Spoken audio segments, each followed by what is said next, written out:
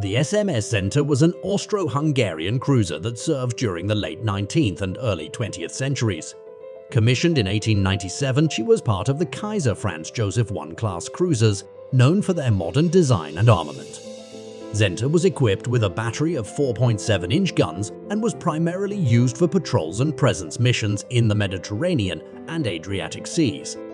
One of her most significant moments came during the Battle of Antivari in 1912 when she engaged and sank two Montenegrin torpedo boats, showcasing her combat capabilities.